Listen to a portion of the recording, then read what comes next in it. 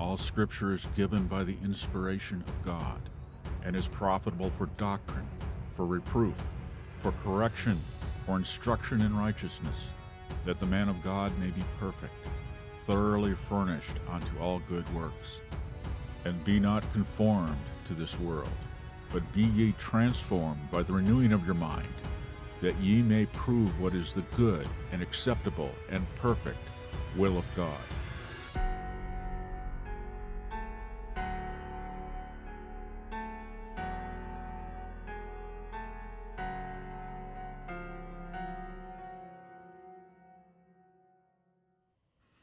Welcome to Thinking Biblically. This is the 18th day of December in the year of our Lord 2023.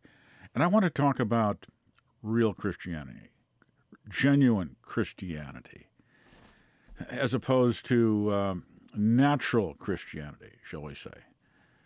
Or as uh, someone once put it, Augustine, Augustine, Augustine, the city of God versus the city of man but not in the way he put it.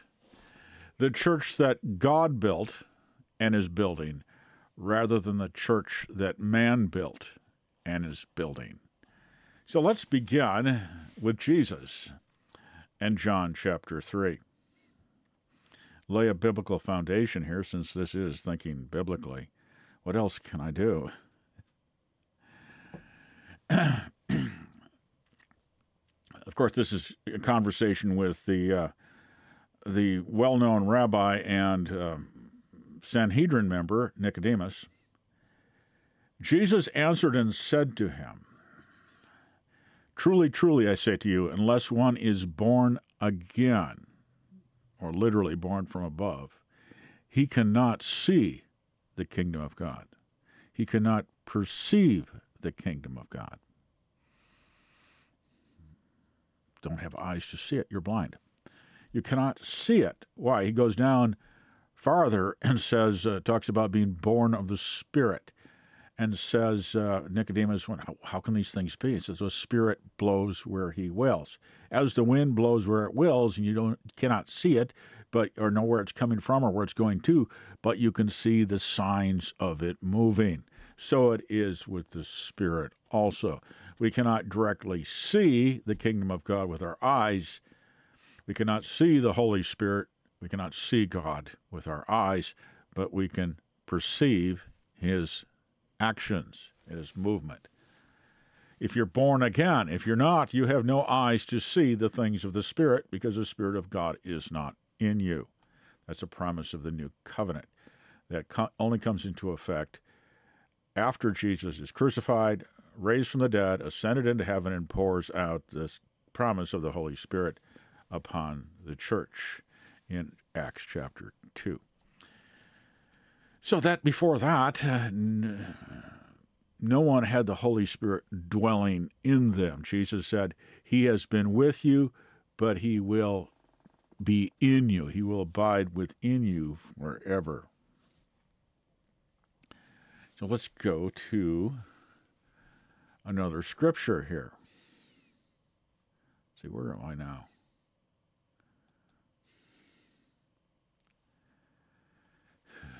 First Corinthians chapter 2 verse 14. But the natural man, man born of Adam, man born only once, man not born a second time, the natural man does not receive the things of the Spirit. Let me check that word there. Okay, that's not what I thought it might be. Does not receive the things of the Spirit of God, for they are foolishness to him.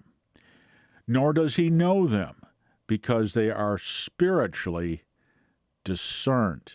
But he that is spiritual judges all things, yet he himself is judged by no man, no one.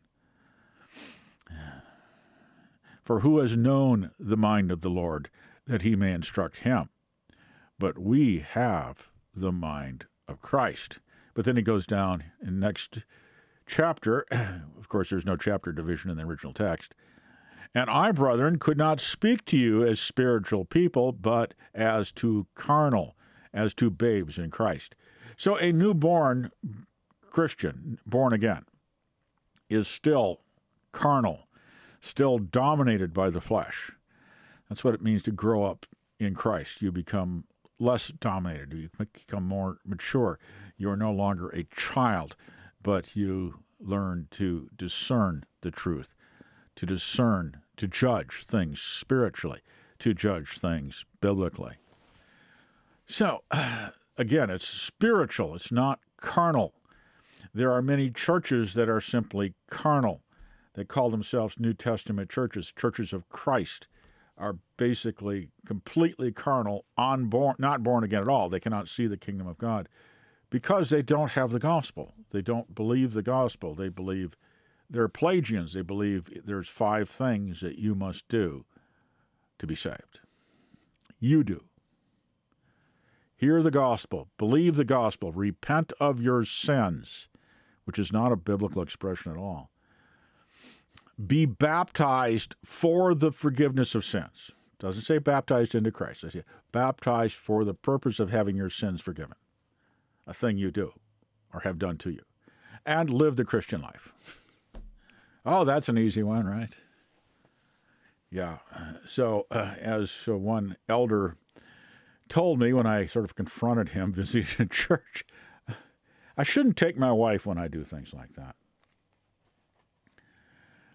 I said, so, so what you're saying is every time we sin, we're lost until we ask God to forgive us, right? Yeah.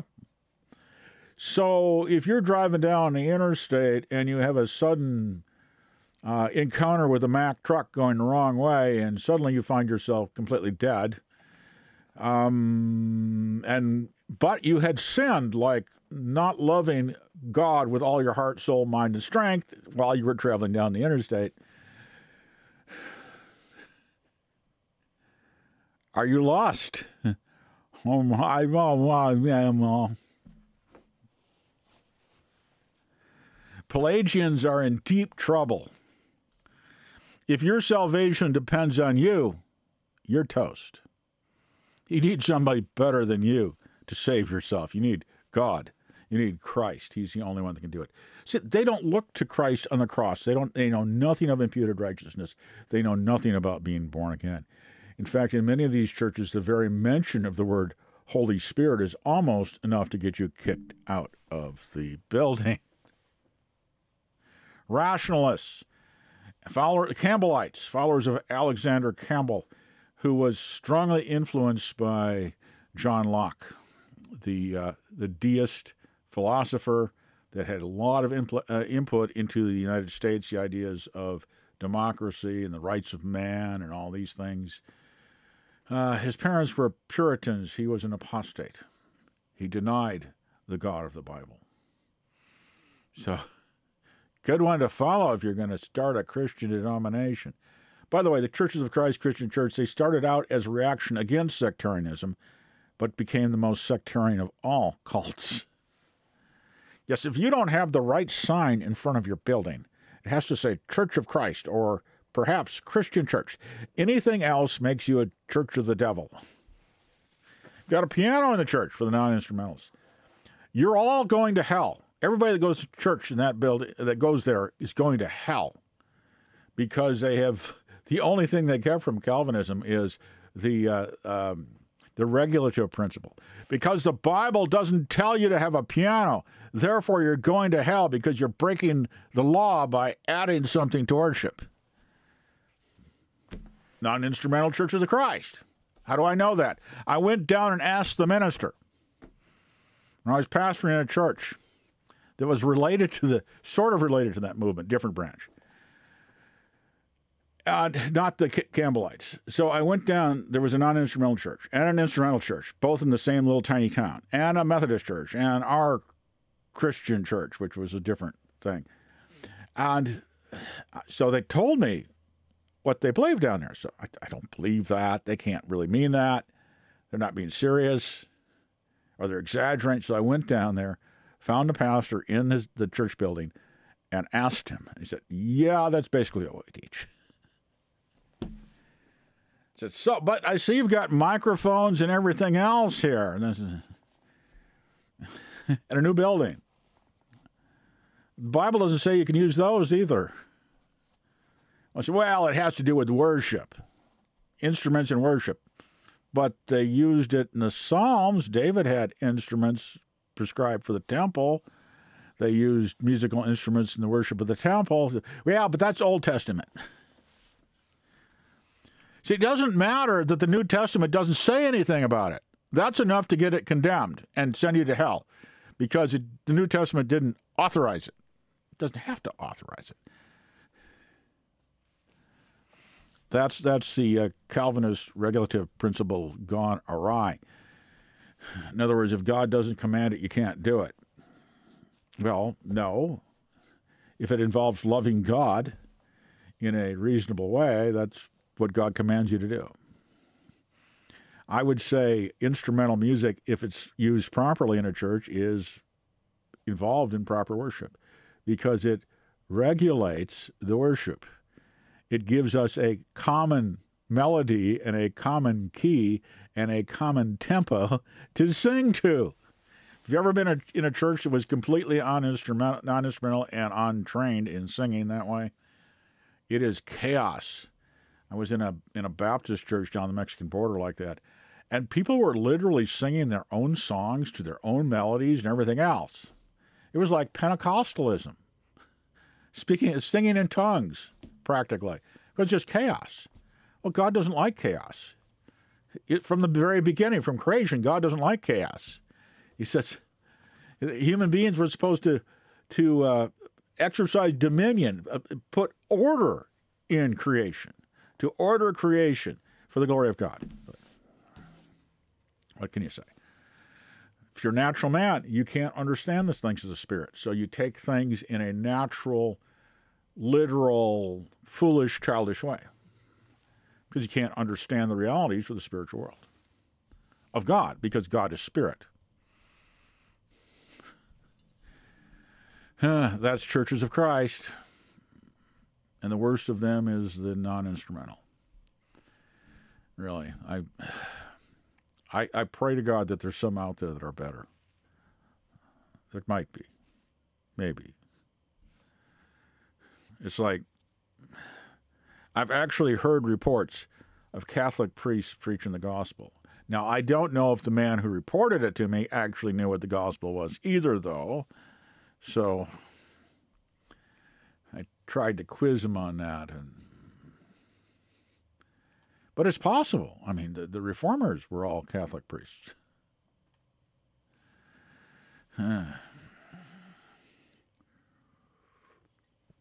So spiritual things are spiritually understood. You have to be born again to understand or perceive spiritual things, to, in order to perceive the kingdom of God.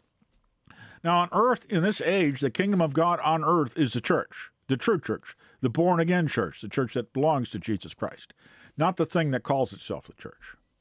The biggest of which is a Roman Catholic thing. Uh, it is calls itself the one true church, but it is not at all the church. There may be Christians scattered here and there in it, but that's about all. And you look at Christians on the internet, especially the conservative ones that are upset with their Antichrist Pope, they are all concerned about the institution of the church because that's what they look to for their salvation. My father in law, I think um, that's what he looked to.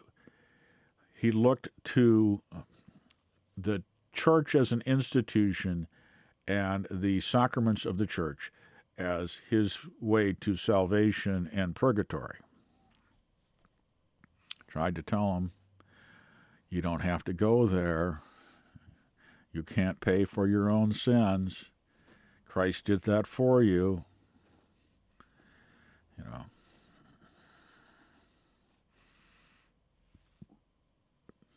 All right. So here we have you have to be born again in order to see the kingdom of God. And Paul is taking saying the same thing here is that the natural man cannot see the kingdom of God. He cannot perceive the things of the spirit because he's natural. He's of Adam. He's still dead in trespasses and sins. The Spirit of God is not in him. He's, he doesn't have the mind of Christ. He doesn't have a new spirit, um, though he has no eyes to see. Therefore, when the world thinks of the church, they think of the, what they can see with their eyes. Uh, many Christians think of what they can see with their eyes. some of the strange doctrines in the Roman Catholic Church. Well, that's that's why all the idols are there too. Why there's an idol of Christ and an idol of Mary and all these things, because it is what a carnal, a fleshly, unregenerate man can see. It's religion of the flesh, because there's no other possibility. That's why it's all about symbols and smells and bells and building construction, the cathedrals, the stained glass to make things look spiritual because they can't see the kingdom of God, which has nothing to do with those things. And the transubstantiation of the of the, the mass, the bread and the wine become literally the body, blood, soul, and divinity of Christ. Uh, identi- physically, I mean, the substance has changed. They're saying is really, really, really means is. It just doesn't look like it is because they, they cannot see anything beyond that. So they come up with these strange doctrines to, to, to justify that the, the bread literally is the physical body of Jesus and his soul and his divinity and his blood. But nothing is, I mean, you couldn't possibly determine any changes scientifically at all. But their philosophy, which is come from Aristotle, said, well, it's substance the reality of it, not the not the real reality, but the other reality is Christ. That's not it's not unable to understand the word of God spiritually. Uh, Martin Luther was unable to understand it too, and they were also uh, the Latin translation was compounding the error in some ways. But here you you have to in order to understand Christianity is 100% spiritual. It's not physical, it's spiritual. Baptism is a spiritual act, it's not a physical act. The physical is just there for our benefits. So there's something we can see. So something that you can know something was done. The Lord's Supper, the same way. that the, the bread and the wine is, has to do with the Passover, but uh, uh, physical substance, a material thing, cannot transmit the Spirit of God or the grace of God. God cannot does not dwell in physical things. He dwells in he's spirit. Spirit is not matter, cannot be changed into matter. Even the rock that followed Israel, that rock was Christ, the spiritual rock. It may appear physical, but it's not. It wasn't. It was Christ. A real rock does not pour water. A boulder, a big boulder, does not pour out water. No, it's not. That's not what boulders do. So you have to have eyes that can see, and you have to be born again to do that. The things that we speak also speak not in words of man's wisdom teaches, not the, in the words which man's wisdom teaches. In other words, not in philosophy, not in Aristotelian metaphysics, for example, which is an important example, but which the Holy Spirit teaches. You can't get this at a seminary because there are no seminaries where the Holy Spirit is on staff. He doesn't serve institutions. these things that we uh, so, so the, the spirit which is from god these things we know uh, that we might know those things that are freely given to us by god these things we also speak not in words of man's uh, that which man's wisdom teaches but which the holy spirit teaches comparing spiritual things with spiritual in other words but discernment spiritual understanding you understand the things of god which are spiritual spiritually. You cannot perceive, you cannot see the kingdom of God unless you've been born of the Spirit. All right. Where else? Okay, now.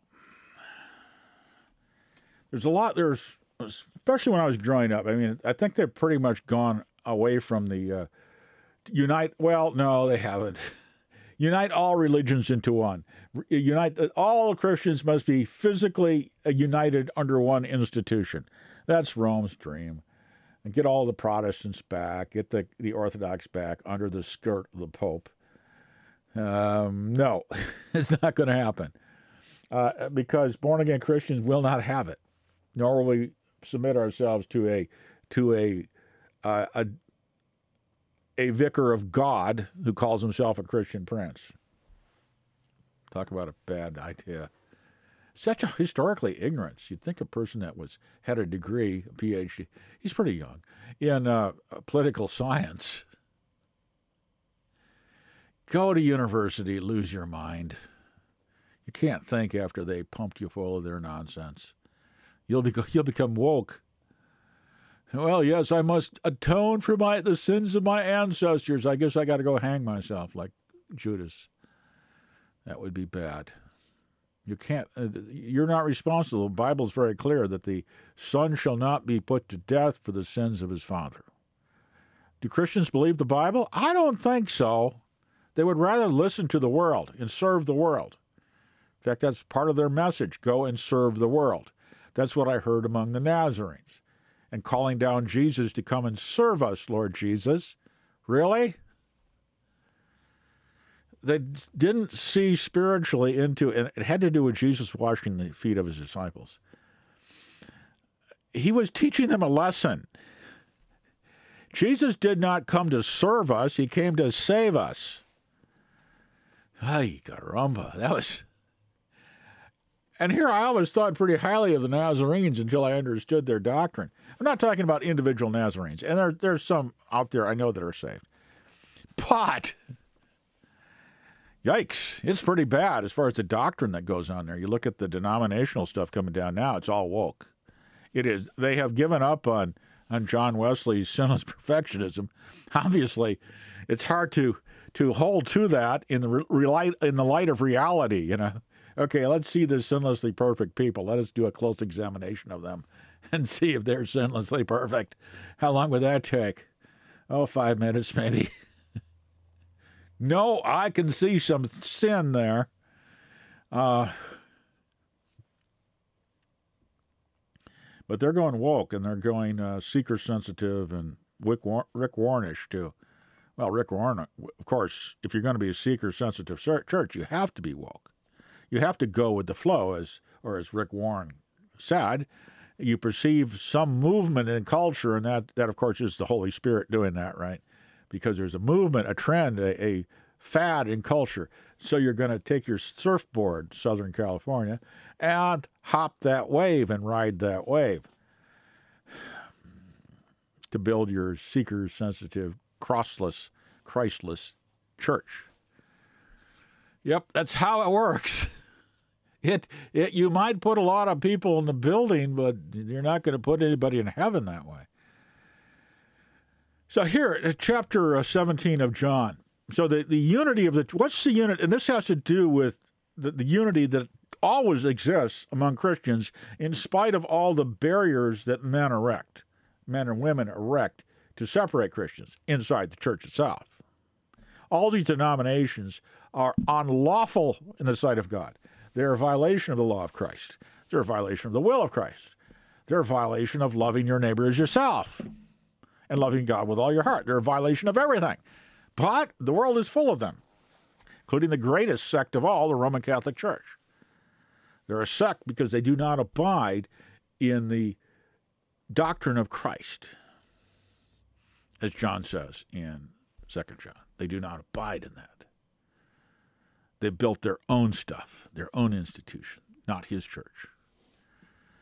And they've enslaved multitudes, well over a billion,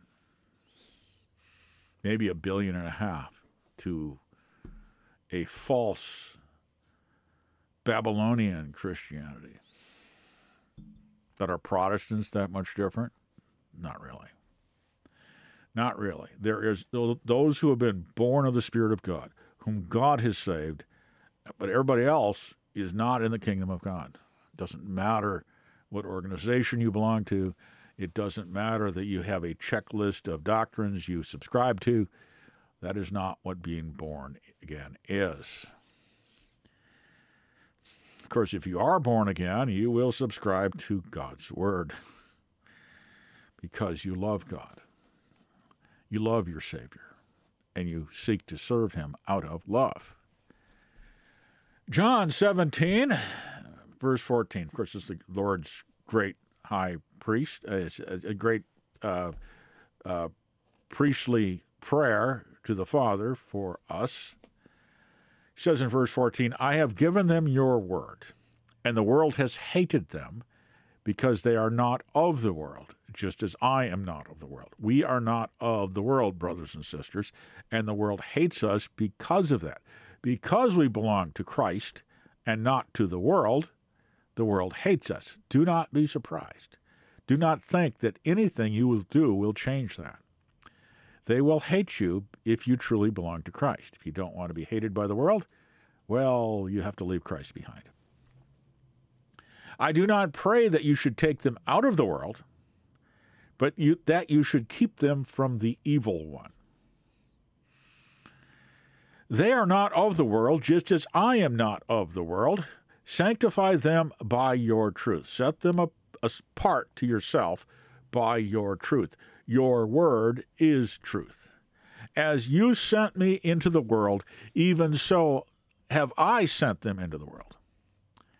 I heard a, uh, a preacher on, on YouTube, uh, sort of related to the theonomy thing, I suspect. Uh, culture wars, uh, Christ, uh, Christian nationalism kind of stuff that as I said, is not really Christian and nationalism, it's something else. Advocating that Christians should leave blue states and move to red states in order to establish a Christian nation, I guess. I suppose Texas would be a reasonable thing. Let's take over Texas, kick all the other people out, and establish a Christian nation there. Wouldn't be the first time Texas was an independent nation. In fact, you could start smaller. The recreate the the the uh, Republic of the Rio Grande. There was actually a rep- for a few a year or two there was a a separate nation along the Rio Grande River, simply because it was cut off from everything else, except by sea up the river, which was a difficult thing to do in a steamboat. But uh, yeah, there's actually a republic along the river there. It, it, barriers, impossible uh, prickly pear and cat's claw deserts on both sides. You could not go through there by horse or on foot. You will die. Which many people coming out of Mexico try it and they die. They die out in that stuff. It's don't even please people don't even think about it. Don't even think about it. Uh, I don't want you to die out there of snake bite or being shredded and dying from uh, dehydration and and uh, the sun. It'll kill you dead so fast. Don't even think about it. It's not worth it. There's nothing in America worth it. The only thing you can find of value is in Christ. Don't come to America to find Christ. It's, it's, it's not not likely to find him here. Not very easily. So you find him wherever you are. Just call upon his name. Call upon the name of Christ to save you, to save you from your sins and justify you through faith in him. He'll meet you where you are. Don't come someplace else. It's not worth it. Don't want to see your bones bleaching out in the desert. Oh, God.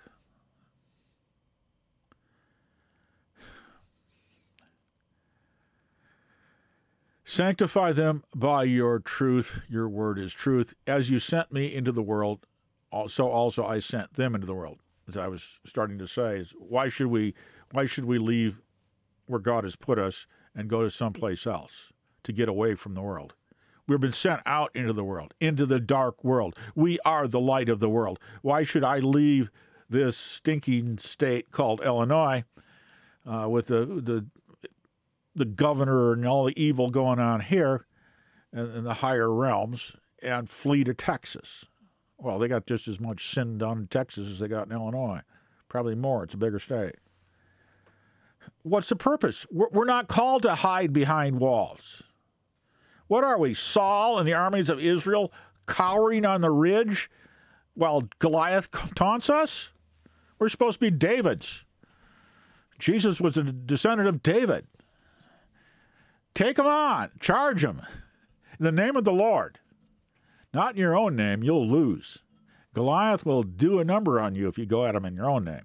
No, we are the light of God in this place. Wherever you are, if you're born again, Christ is in you, and you are the presence of Christ there. You are a temple of God. You're the only light the world has. Why would you leave them in the dark? For your own pleasure? That's not serving Christ. You're to lay down your life just like he laid down his. Foolish Christians. These people on the internet, I don't know. It's not a good thing in a lot of ways. They are not of the world as I am not of the world. Sanctify them by your truth. Your word is truth. As I sent as you sent me into the world, so also I sent them into the world. Into the world. And for their sakes I sanctify myself. I've set myself apart to the Father to accomplish his work. That very day, he was going to accomplish the work he came to do. He was going to die on that cross. That very day, this is the night before that. This is the same day in Jewish time.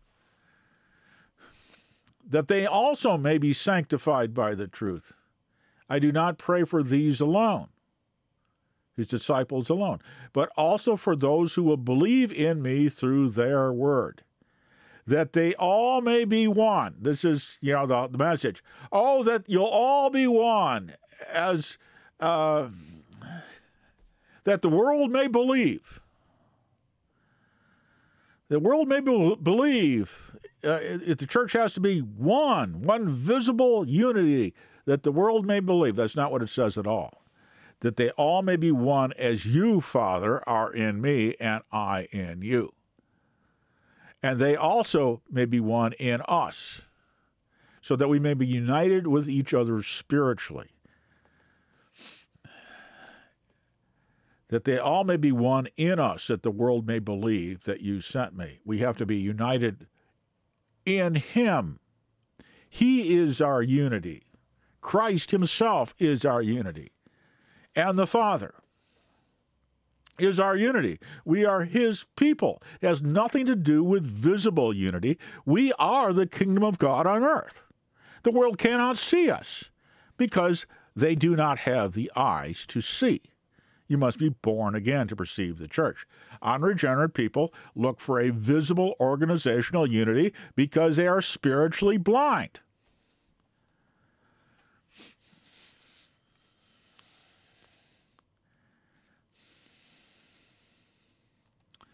And the glory that you gave me, I have given to them, that they may be one just as we are one.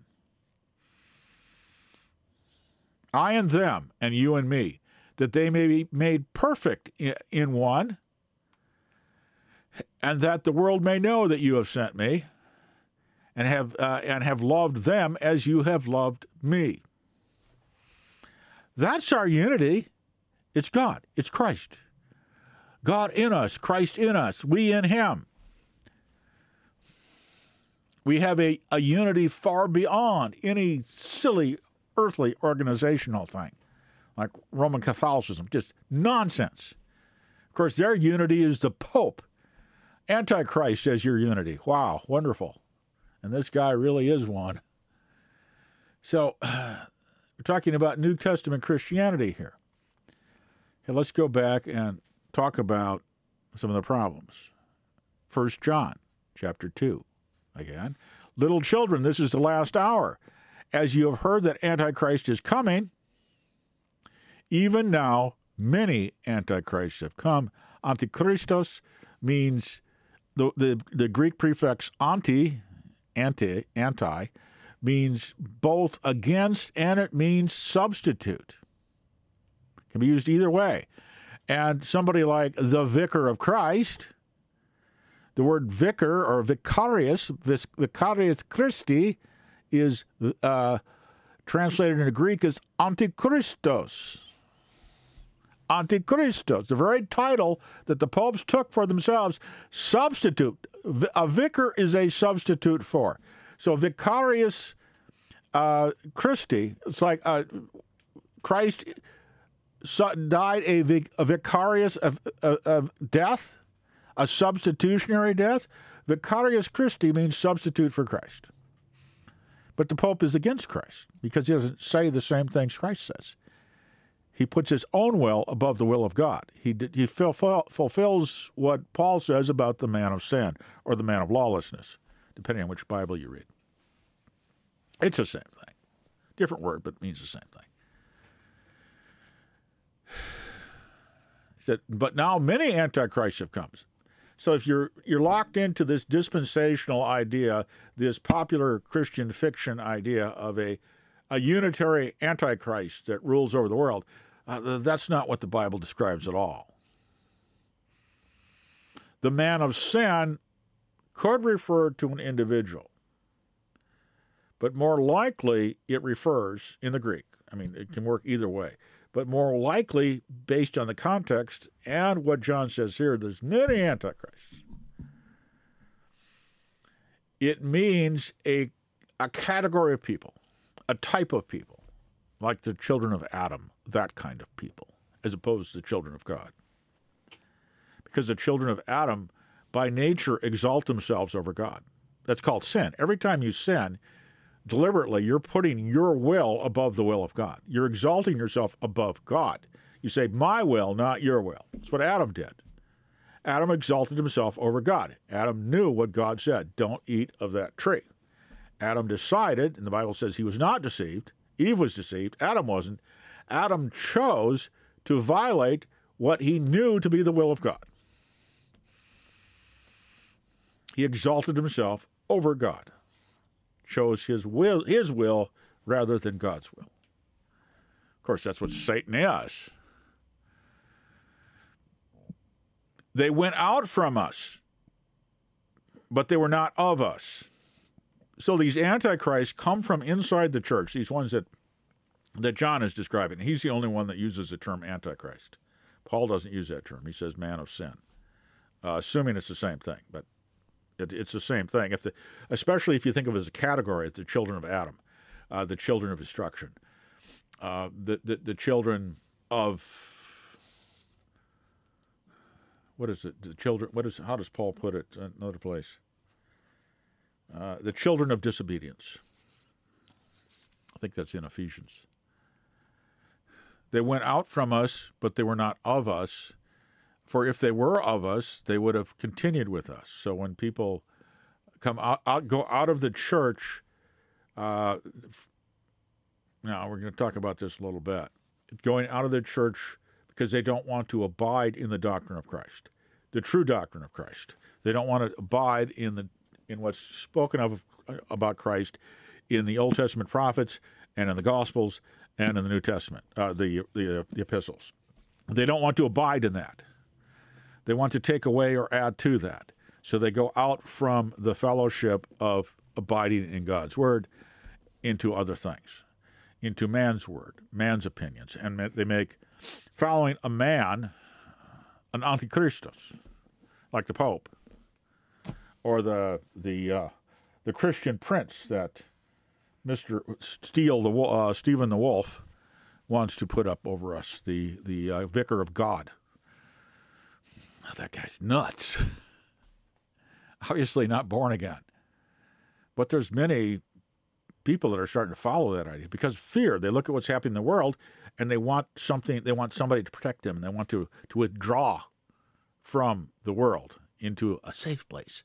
They're basically like these these snowflakes. So we're talking about these people that want this kind of stuff, the Christian nationalism that's not really Christian nationalism, but it's a, a theocracy in that case, or a theonomy, uh, and want a, a, their own independent little country with the walls around it, big walls around it, where it's a safe place for us. It's a safe place for Christians. And we got to get our teddy bears. You're talking about a few years ago, talking about college campuses, how the students were all a bunch of snowflakes because they couldn't take any heat at all. They, they'd, oh, you triggered me. I'm having an emotional reaction. I need to go find somebody and comfort me and give me a teddy bear and, and go to a nice padded room and wallow in my self pity.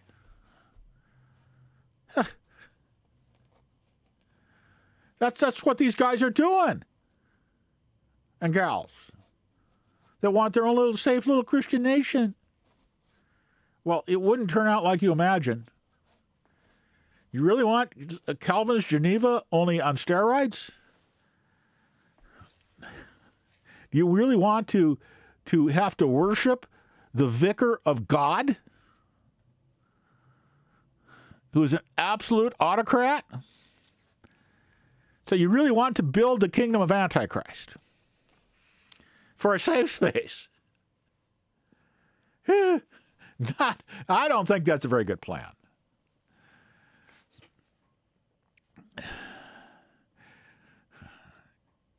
If they went out from us because they were not of us, for if they had been of us, they would have continued with us, with the teaching of the apostles and Jesus and the Old Testament prophecies about Christ. That's a that is the doctrine of Christ. That is the teaching of Christ. All that. All that's in the Bible about Christ. Christ is the focus. If you're if you are looking at the Bible focused on something other than Jesus Christ, you are misusing the word of God. They went out that they might be made manifest. In other words, visible. That none of them were of us. So when they leave the teaching of Christ, as John says in 2 John, they demonstrate they're not of God. They don't abide in Christ. They don't abide in the apostolic teaching of Christ in particular.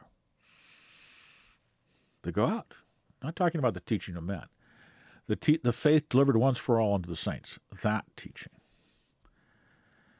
The teach- that, that ended with, the, with the, the ending of the apostles.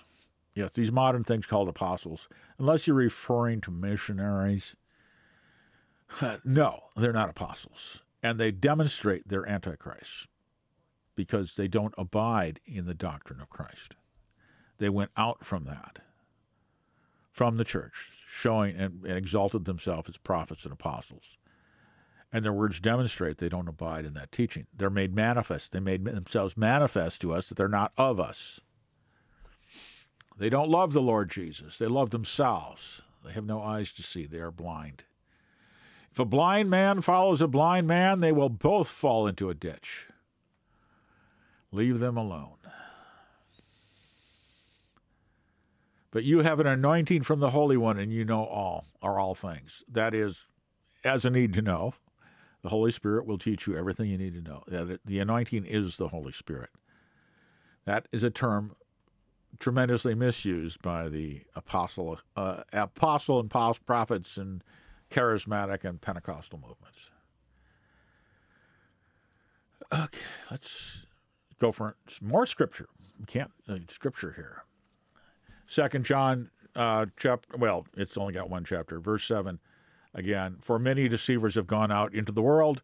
Those who do not acknowledge Jesus Christ is coming in the flesh. He's talking about a particular heresy here. Uh, this is the deceiver and the antichrist. Watch yourselves that you may not lose what we have accomplished. In other words, that they may not depart from the gospel delivered unto them. This is a uh, house church. Does it say where it is?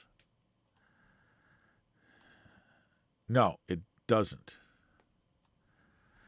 To the uh, to the chosen lady and her children.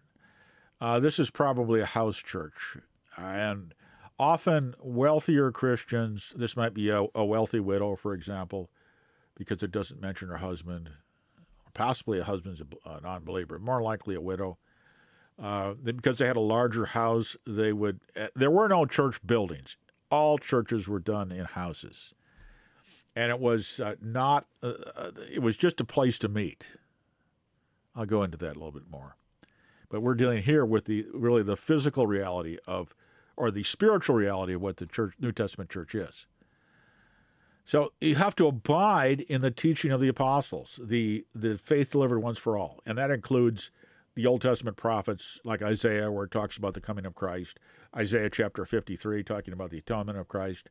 Um, I can't remember which psalm that is right off the top of my head. Where it Psalm 21, uh, something like that, where it David prophesies Christ's crucifixion. Um, many places in the Old Testament speak of Christ. That is, you know, the, the church is built on the foundation of the apostles, the New Testament particularly, and the prophets. That's Old Testament prophets. We have no writings from New Testament prophets uh, because they're not, they don't have the authority to teach new doctrine. That's why uh, the prophets and apostles today are invalid because we already have the faith delivered once for all unto the saints in the New Testament. It's conceivable that under certain circumstances where that the written word of God was not written was not available, that you could have supernatural manifestations of prophecy or teaching or that kind of thing, but it wouldn't be establishing any new doctrine. It would simply be speaking forth what the Holy Spirit has already spoken forth in the Scriptures. So it's conceivable. You could have a gift of tongues, for example, uh, where uh, to people that don't have any written uh, Scriptures and you don't know their language, it's possible that the Holy Spirit could use you to preach the gospel to them, but it would be the gospel. It wouldn't be any other message. The Holy Spirit never reveals any message other than that which is delivered once for all unto the saints in the New Testament, by particularly by the apostles in the New Testament. Because it's been delivered, we don't need any, you know, other than in situations where the Holy Spirit chooses to do that.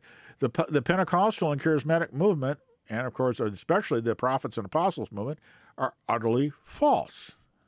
They're not from God. They don't preach the message of, of God. They don't abide in the teaching of Christ. That's not what they're about. If anyone goes too far or transgresses in, say, the New King James or King James, and does not abide in the teaching of Christ, does not remain in it, abide, like live, dwell in it, he does not have God. The one who abides in the teaching, the faith delivered once for all unto the saints, he has both the Father and the Son. If anyone comes to you and does not bring this teaching, do not receive him into your house. And that's why here, and do not give him a greeting. For the one who gives him a greeting particip- uh, participates in his evil deeds. Okay. I th- that's why one of the reasons I think this is a house church because you don't want to embrace a false teacher that's bringing false doctrine into the church. Into a private home, well, I wouldn't, you know, I would not invite Jehovah's Witnesses into my house unless they wanted to hear the gospel. And, uh, you know, I wouldn't want my my neighbors to see me inviting them into the house. It would be bad for my neighbors. But I think in this case, it's actually talking about a because the church is always uh, the Christians always met in houses, unless they're you know prior to the persecution where they couldn't meet in the uh, they, they did meet in the temple occasionally, but once the persecution began, they couldn't do that. So it was always house to house, and the teachers, the apostles, and the other teachers would actually travel. So it was a network. The church, the New Testament church, is a network. It is not an organization, it's a network, united by the teaching, united by the Christ Himself, the Spirit of Christ. It is, it is uh, like it's a body, the body of Christ, and we'll get to that perhaps.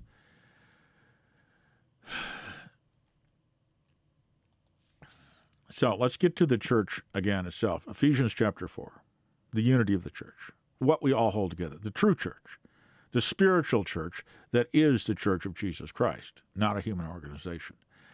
I, therefore, the prisoner of the Lord, beseech you or beg you to walk worthy of the, of the calling with which you have been called, with all lowliness and gentleness, with long suffering, bearing with one another in love. Long suffering, that's a good example of bearing in love because it's it's not simply patience. It is you putting up with things because you love someone. It is grounded in love. Long suffering is always connected with love. Uh, you suffer long, but you suffer in love because you suffer other people uh, because of the love that God has given us for one another. Endeavoring to keep the unity of the Spirit in the bond of peace. This is, again, the Spirit is Christ Himself, God the Father, the Holy Spirit, one God.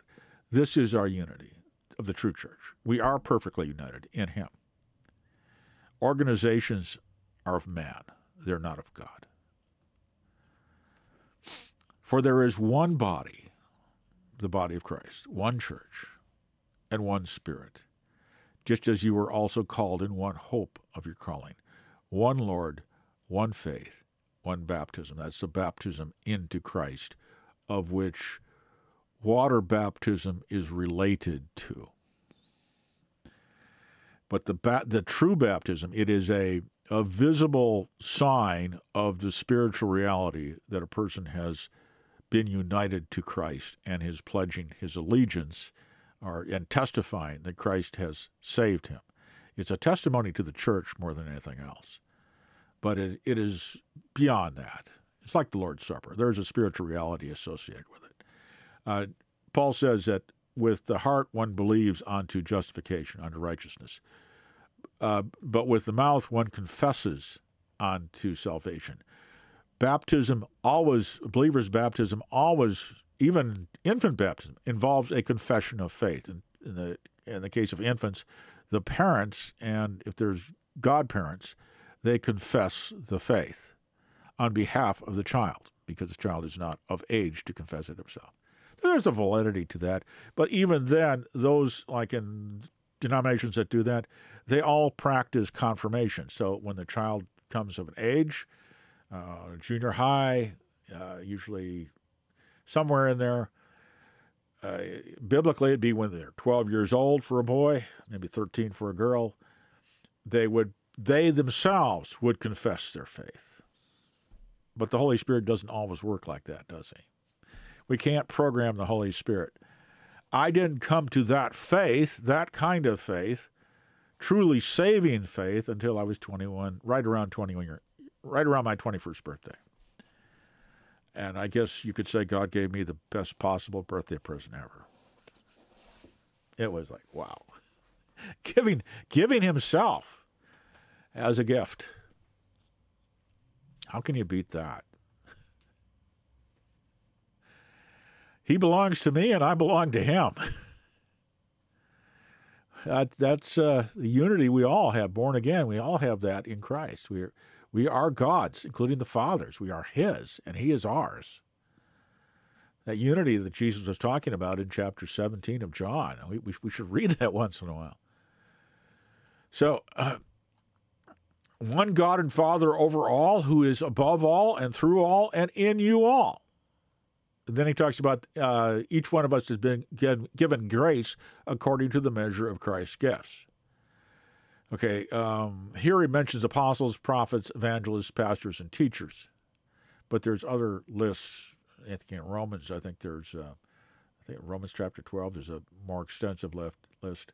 So let's talk about that a little bit. Uh, let's see, is there anything else? Spiritual gifts. Uh, we're to, I'm to talk off. And then they, they met. See here, for example, this is Acts 2.46. So this is right after Pentecost. So continuing daily with one accord in the temple and breaking bread from house to house, they ate their food with gladness and simplicity of heart, praising God and having favor with all the people. And the Lord added to the church daily those who were being saved. So the Christians were meeting together, generally in the temple when they could, but always from house to house. And again, in, uh, in um, Acts five forty two, and Let's see here.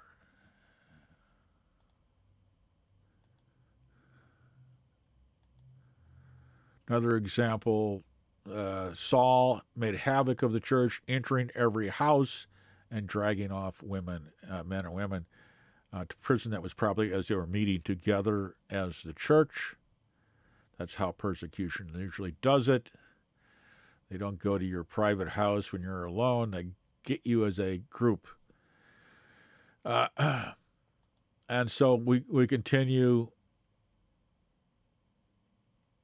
through these different things. We can see again, uh, often when the church is described, it meets in the houses.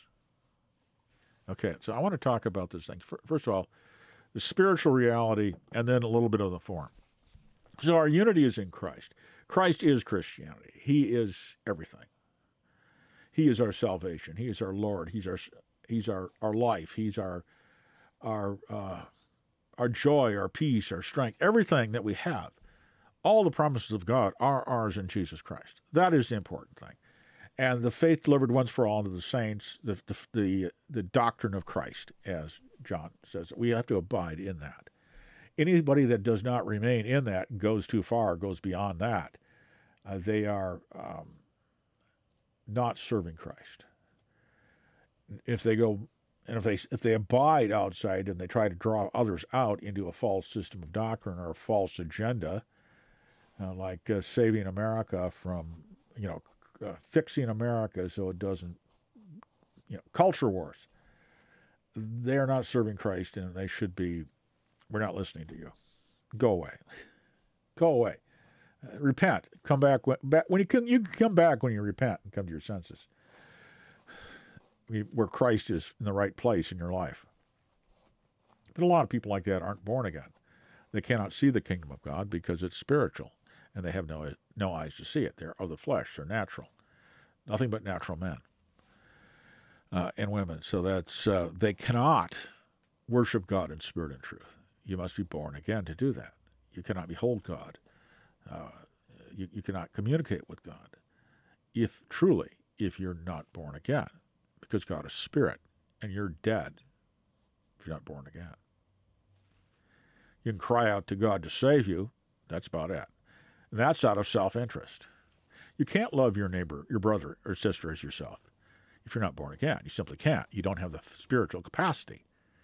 You're dead in trespasses and sins. You're in Adam. You have to be in Christ. So, what I want to talk about a little bit is the form of the church. So in, in, the beginning and in the New Testament, they always met in houses, usually, occasionally in the temple. Usually it was in a the house of a relatively wealthy Christian because it was bigger. Typical houses, I mean, I have a small house, but in those in the Middle East, like in Jerusalem, a typical house would have been smaller than my house. And my house is like 800 square feet with an addition on it. It's small. The coal miner's house originally, I think, was three rooms. That was it. You don't have a bathroom. That uh, you have an outhouse in the back. That's not there anymore, but it would have originally been an outhouse. And you have a a well, and you draw water from the well, and you bring it in. The, they had a uh, where the kitchen is. That was actually an addition. So they probably had a, a parlor slash kitchen slash bedroom and then a, who knows what, not much, three rooms. About 1910, coal mining area. Not particularly well built either, although it was built largely out of oak, so it's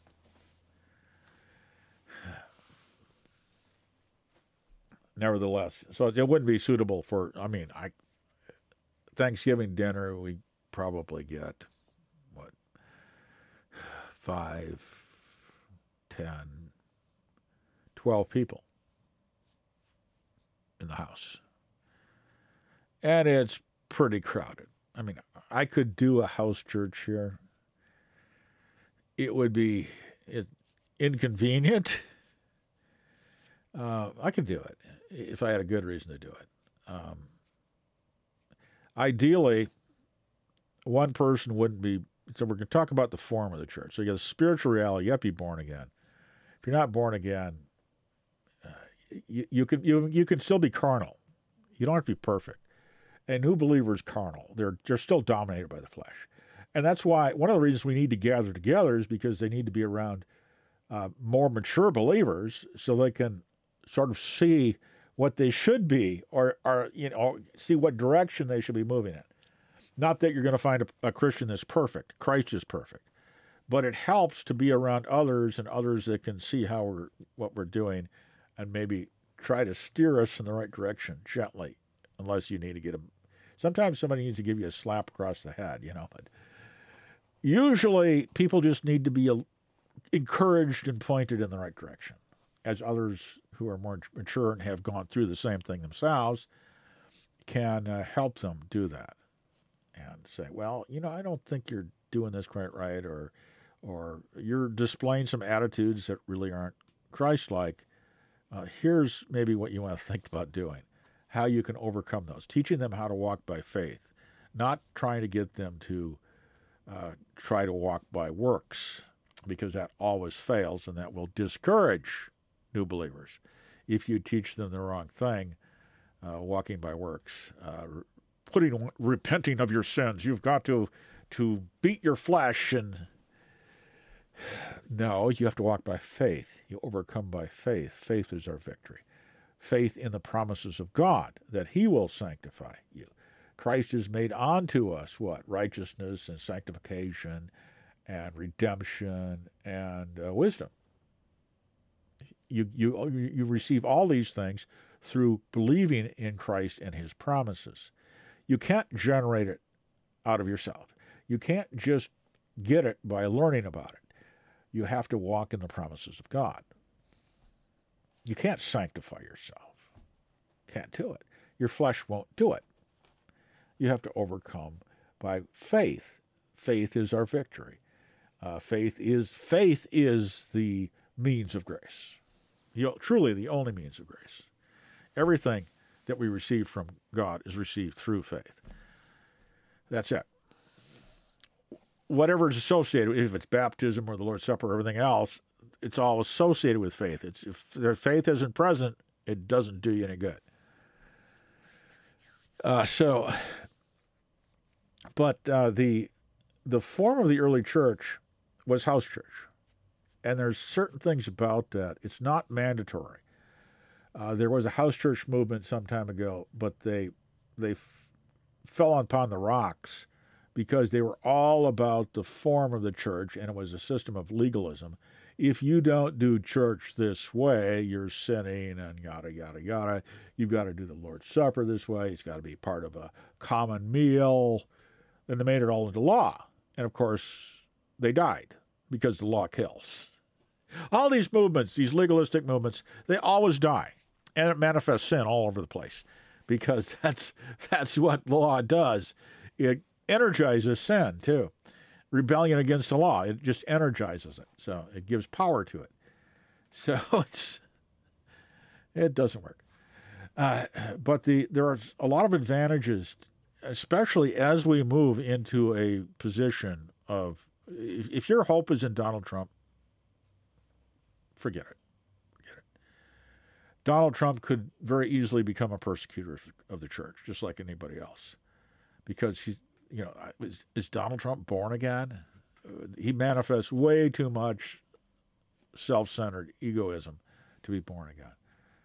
Uh, it's all about Donald Trump. Donald Trump is about Donald Trump, and if somebody does not worship Donald Trump, uh, you know, like says, "Well, I think you're wrong," he is uh, he'll turn on you he's demonstrated that. If somebody says, "Well, we're not going to vote for you," evangelicals, if some of them have said, "Well, because we don't think uh, you really represent Christ" or something like that, uh, he gets got nasty on anybody that doesn't approve of him. So. Uh, if you're not born again, you still are a child of the devil and it doesn't matter whether what what you are outside, Republican or Democrat. They can all of them will do it. One of the worst dictators in American history was Abraham Lincoln, the first Republican president. Uh, yeah, he was a dictator. Suppressed freedom of speech, first draft of the United States, involuntarily throwing people into the military and into combat to almost certain death. And there was riots and everything else about that, but he didn't care. He had his idol, and that was the Union. So he was not a Christian at all. Never confessed Christ. No evidence he was ever a Christian. He was an atheist or a deist at best. So don't put your hope in men. Especially, I don't trust unregenerate men at all. They're still controlled by Satan. And when it comes to governments, the governments of this world, Satan controls them. They're not part of the kingdom of God. Government, in general, is ordained by God to keep some kind of a lid on sin through punishment, the fear of punishment. They, they bear the sword to punish wickedness. And that doesn't mean they all necessarily do that well. As we've seen, government authority can be misused like every other thing that comes from God. And they do that. But it's not ordained for the church. Christ is our government, He's our king. The governments of this world are ordained by God to, to, uh, to be a minister of justice in a sinful and wicked world. But there, there are sinners in government. That they're all sinners practically in government. We shouldn't be confused about that, nor put our hope in that. That it's not, not met for us anyway. Christ is our protection. So, as far as the uh, the the so we talked a little bit about the spiritual reality of the church. It's composed of all those who are Christians. Uh, uh, the denominational stuff is sinful, just plain sinful. It's a plain violation of of Corinthians, First Corinthians chapter one. So it's uh, in our unity. We do have unity. Born again Christians all have unity because we are of one Spirit. We are of one faith. We are of one Christ, one God. That exists. We have to look at it that way. All this denominational stuff is a result of sin, one way or the other. Either people fleeing from corruption or because they're following corrupt teachers. The world, uh, world of course, the sinful world, Christian world, like the mainline and Roman Catholics and such, they want visible unity because they want the power. Denominational mergers are always about power. Just look at them; they're always about power. They're not about Christ. What is denomin- organizations of men made by man has nothing to do with the kingdom of God. It's all man made stuff. It's like the Tower of Babel. And it's usually rooted in fear. Tower of Babel was rooted in fear, lest the flood come again. God had promised there would not be another flood. Why did they build the Babel tower? In case the water rose. At least that's an possible explanation for it. And because they wanted to be, they wanted unity. God didn't want unity for the world. He wanted the nations divided. He said, "Go and fill all the world." You know, they they they didn't want to. They wanted to to stay together and make a name for themselves. Well, what is denominationalism? It is a, a denomination means of d of a name. Nomination a na a, a uh, to denominate is a name of a name. So that's what they want. They want an identity for themselves. They don't want a common identity. They want a particular thing for themselves. They all want to be the one true church. And there's a whole lot of one true churches out there. Guess what? None of them are the one true church because you can't see the one true church because it's invisible. It's always spiritual. In this age, it will not be visible until Christ returns and we are glorified together with him and we descend to earth with him. Then the church will be visible, very visible, just as Christ is visible then. Uh, so our, we don't want to try to create a synthetic unity that is unequally yoking with unbelievers, because that's what it is. But the New Testament church met in houses, uh, not to make legalism out of form, because the house church movement crashed on that. But there are so many advantages to that. If we consider the church as a network, which it was, it was a network. It had no hierarchical construction to it. Uh, there were churches that they referred to, it's like Jerusalem, uh, but there was no system of hierarchy, no regional divisions, nothing like that. You had, uh, the scripture talks about, say, the church in Corinth, or the church in Ephesus, or the church in Jerusalem. It never uses churches in regard to a location like that, a city. It uses churches in regard to, say, the churches of Asia Minor. So in a region, it'll refer to churches, but of course, there's a whole lot of cities there. Within the city, they it was not a single building. It was houses, and they'd meet from house to house, and you'd have the apostles and teachers and others that circulated about this. So you had a network of believers and a network of, uh, uh and the house churches were very fluid, plastic. So it, it wasn't a, uh, you wouldn't necessarily meet in one house all the time or with one group of people all the time. It was much like how the Amish do things. Uh, they meet in houses. In fact, they build their houses to accommodate the size of the congregations, which are, think, around 50 or maybe a little more, what you could accommodate in a large house. So they build their houses with removable or movable partitions so they can open the thing up and they don't meet in one house all the time. They don't build church buildings. They'll build a school building, but they don't build church buildings.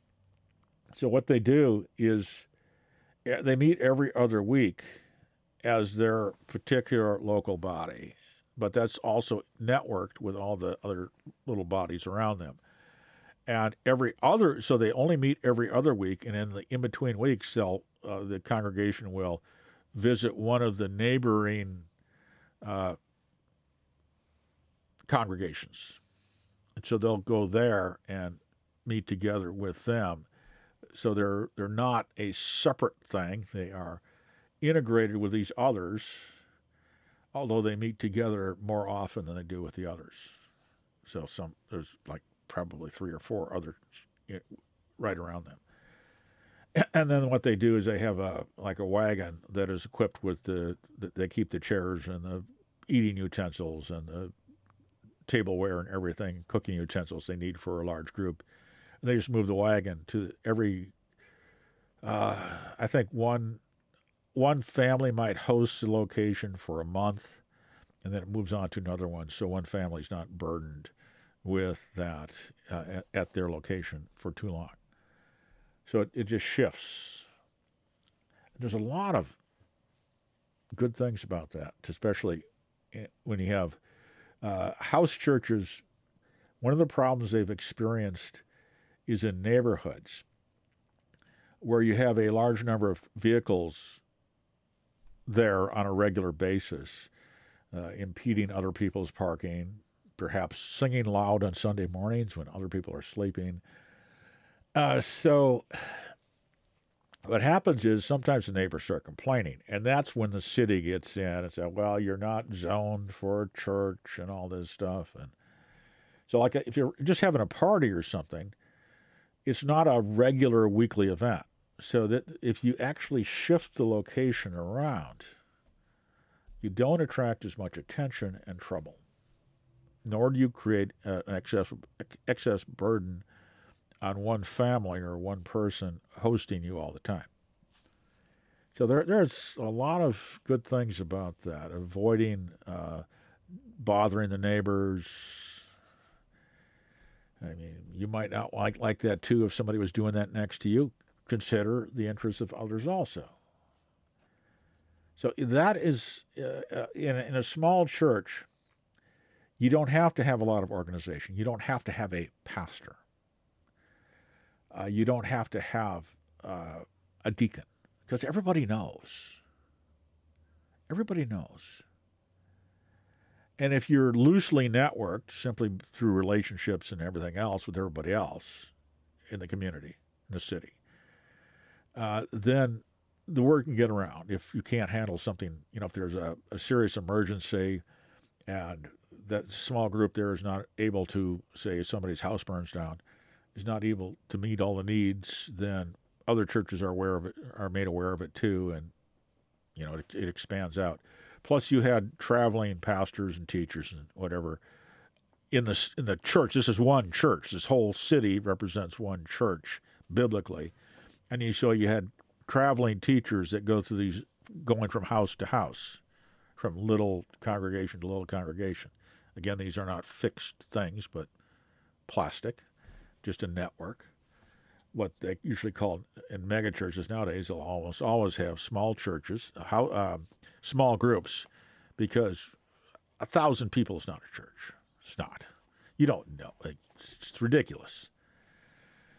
So that's how it was the New Testament. You study, search for yourself, and see how it how it was set up. It wasn't. A, it just how it happened. The Holy Spirit did it this way. And those who try to make that as a mandatory form are missing the point. It, but the practicality of it, the practicality of not having people going into debt, perhaps even to the world, to build a building, why?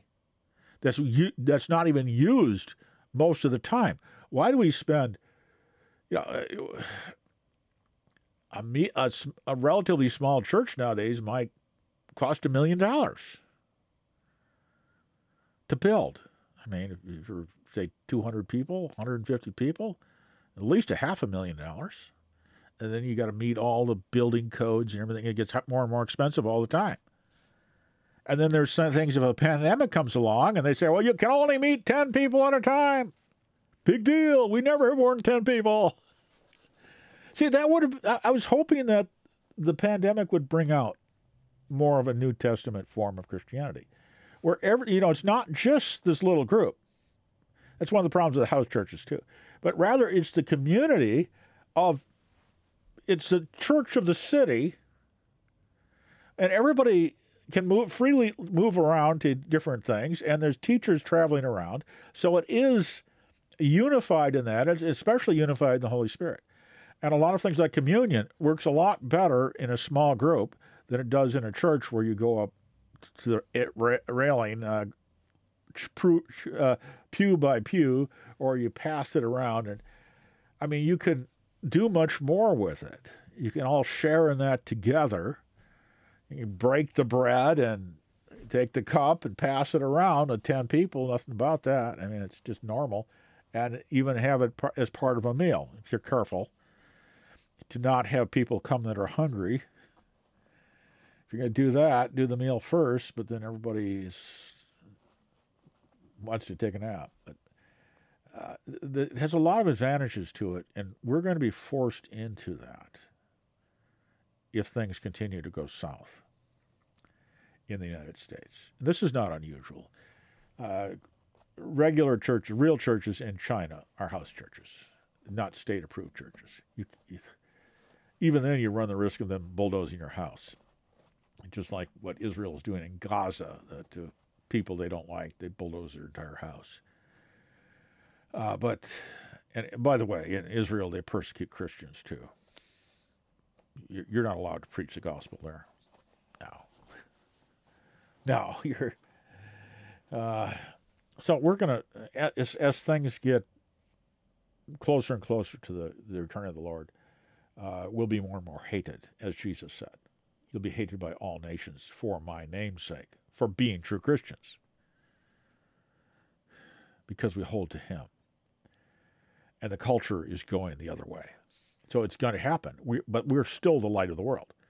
Is God going to remove the light of the world because we don't want to suffer at all? I don't think so. He who gave his only begotten Son to suffer for us, that we might be saved. Is he going to pull the witnesses of Jesus out of the world until he's done with it? I mean, until only thing coming is judgment? As long as he's still in the business of saving people, we're going to be here. So, uh, but as we're going to we're going to be forced, because we didn't learn from COVID. We're going to be forced into this. We might as well start thinking about it now and maybe start moving in that direction now. There's an awful lot of Christians out there now that are already outside of the institutional church for a lot of reasons, a lot of good reasons. Not just because they're rebellious. Maybe they ought to be rebelling against that man in the pulpit. Because the institutional church is not built by Jesus Christ. I mean, that, that, that it's a man made thing.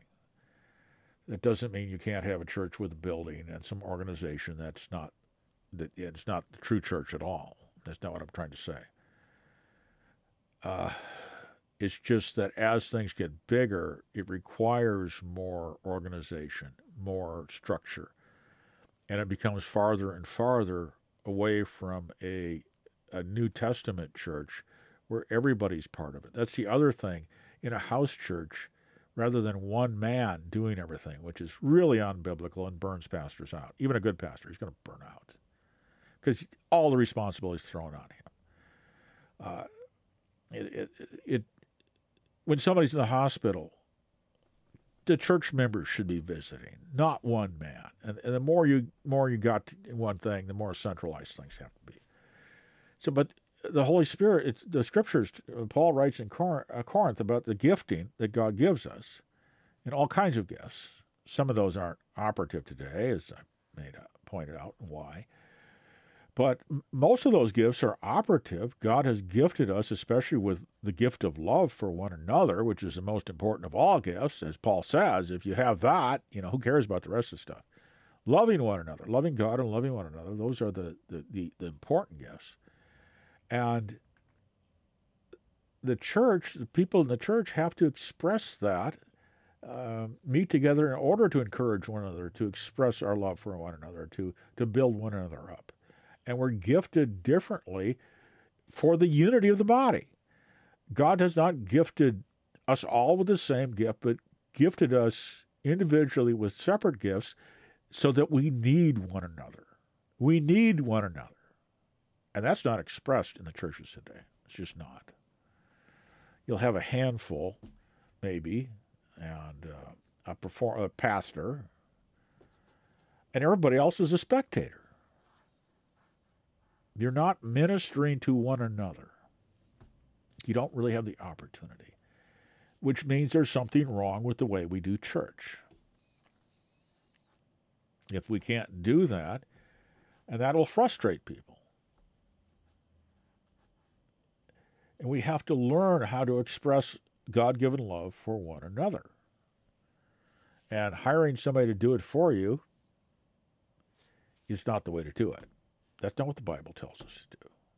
The purpose of an elder or overseer is to, that may often teach, but he's not the exclusive teacher. And he also, the purpose of the elder, and these could travel around too, it wouldn't necessarily have to have several elders for one small group. But to, uh, it'd be better if they travel around. And so you have a variety of teachings, not one guy that's focused on one thing. Uh, so there's God if talking about the real church and real teaching.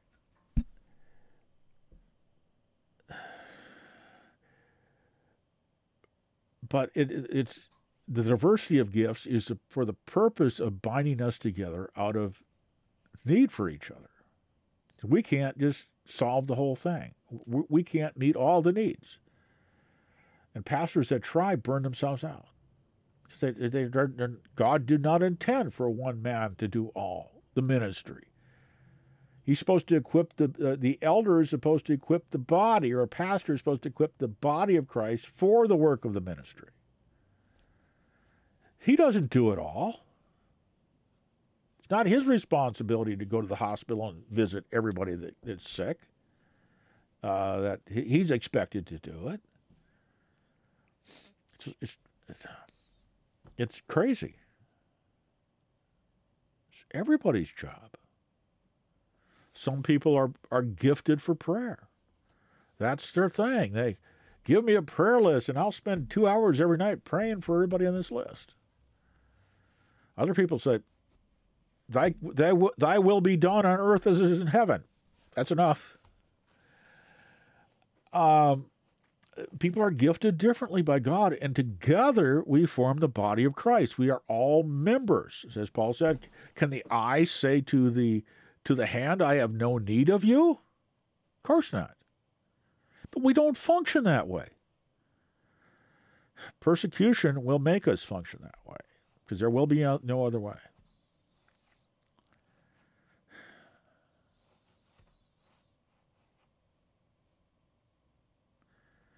It would be good if we could do it without having to experience that. I don't think so. But we need to be thinking about this and, and how we can do things. For example, with the pandemic, this would have been, we should have learned how to do this. We should have sought what God says. We should have opened Scripture, but we didn't. And the heroes became people that were rebels against the government like MacArthur and Doug Wilson and his clan up in Moscow, Idaho, these people and, and the others up in Canada. They were considered heroes for not following Christ. God has provided the model. He has shown us what to do, and it all comes down to love one another. That is Christ's great commandment. And we have to abide in Christ in order to abide in his love and to walk in love toward one another. That is real Christianity. That is biblical New Testament Christianity. And I wish we were practicing that.